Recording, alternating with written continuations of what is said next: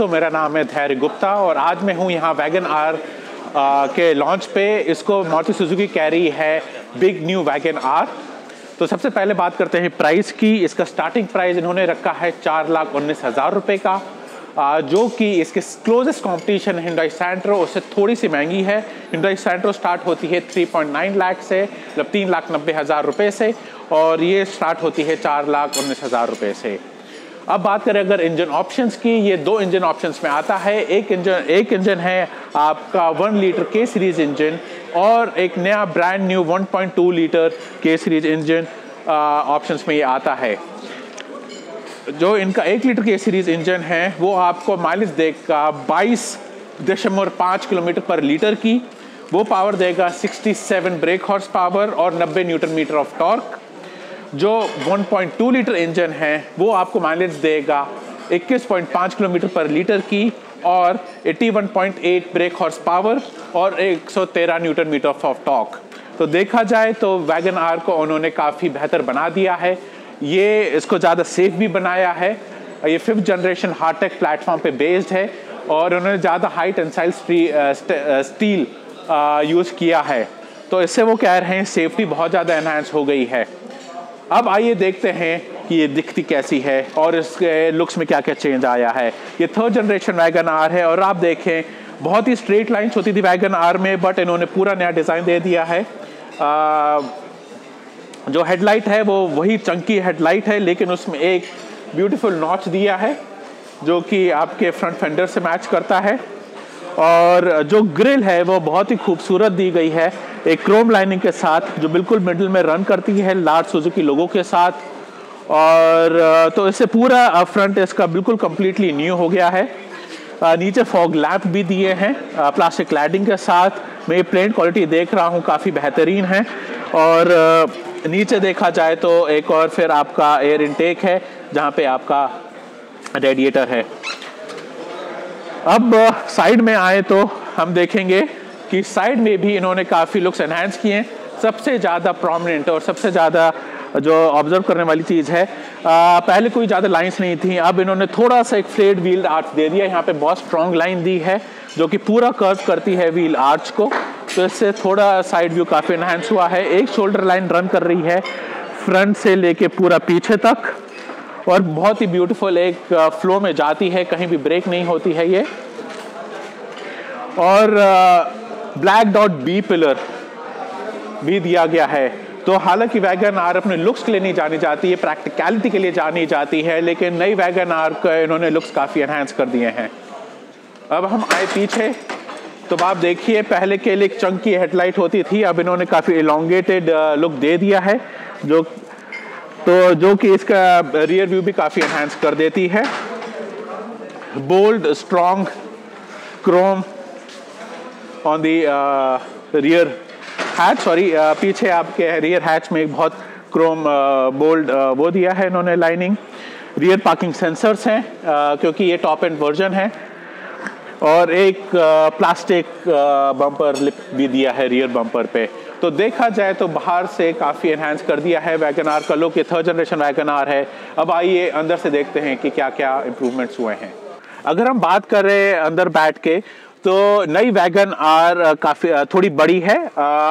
Front से इसका जो ट्रैक होता है दो व्हील्स के बीच का डिस्टेंस वो 140 फोर्टी mm बड़ा है और पीछे वाले टायर का ट्रैक डेढ़ सौ mm बड़ा है। और अंदर से भी आगे का लेग रूम एरिया और पीछे के लेग रूम एरिया भी बढ़ाया है। तो ओवरऑल ये बिगर है शोल्डर रूम बड़ा है। तो ये आपको गाड़ी में दिखेगा जैसे ही आप बैठेंगे। यहाँ पे ज़्यादा स्पेस है मेरे पास।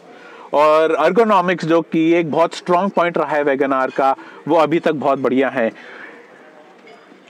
ये आप देख रहे हैं, ये ए जी एस टेक्नोलॉजी के साथ है, जो ऑटोमेटिक गियर शिफ्ट है मारुति का। तो बहुत ही अर्गोनॉमिक है गियर लेवल वाटरफॉल डिज़ाइन में है, बिल्कुल आपके हाथ में आता है।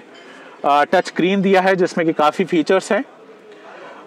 स्टेयरिंग माउंटेड कंट्रोल्स हैं, जैसे आपके फ़ोन के, आपके आपके जब आप रेडियो पे प्ले कर रहे हैं तो आप चैनल चेंज कर सकते हैं, वॉल्यूम चेंज कर सकते हो। जो बेसिक आपके कंट्रोल्स हैं, वो सारे स्टेयरिंग व्हील पे दिए गए हैं।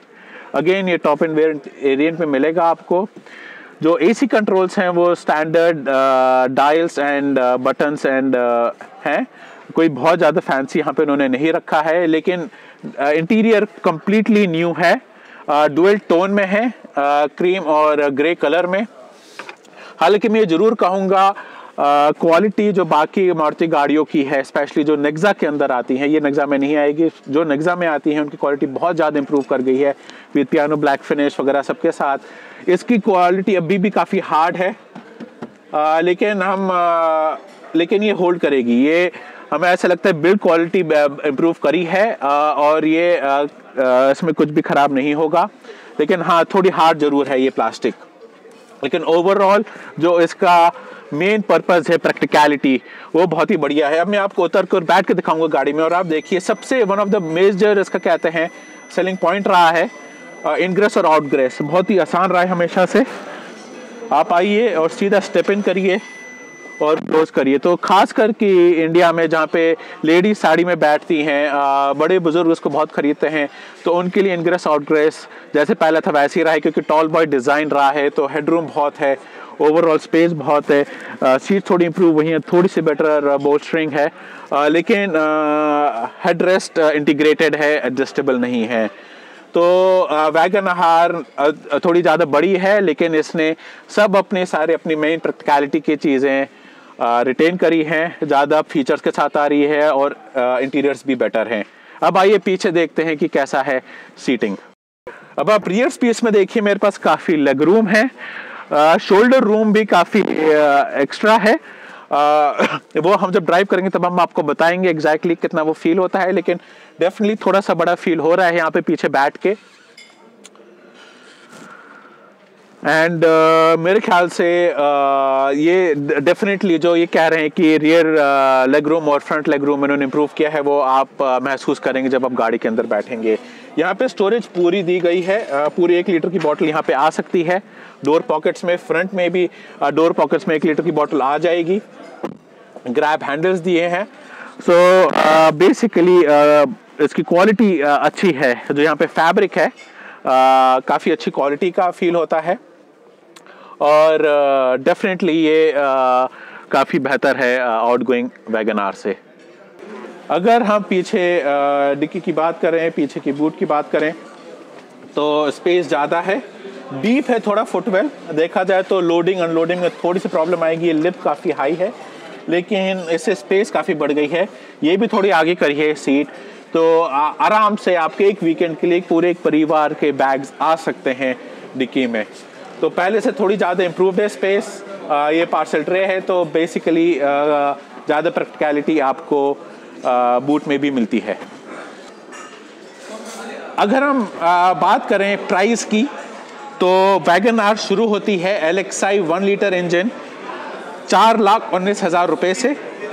फिर आता है V X I one litre engine जो कि है चार लाख उनहत्तर हज़ार रुपये का। V X I A G S automatic transmission के साथ वी एक्स आई वो कॉस्ट करेगा पाँच लाख सोलह हज़ार रुपये V X I 1.2 litre engine जो है, उसमें एलेक्साई नहीं है। वो वी एक्स आई से शुरू होता है। V X I one litre engine cost करेगा आपको चार लाख नब्बे हज़ार रुपये जेड एक्स आई पाँच लाख बाईस हज़ार रुपये V X I A G S पाँच लाख छत्तीस हज़ार रुपये और Z X I A G S पाँच लाख उनहत्तर हज़ार रुपये सो ये प्राइजेज़ हैं वैगन आर के सारे वेरिएंट्स के, ये सारे प्राइजेज़ एक शोरूम दिल्ली हैं तो ऑन रोड प्राइस के लिए आपको रजिस्ट्रेशन और इंश्योरेंस एक्स्ट्रा देना पड़ेगा।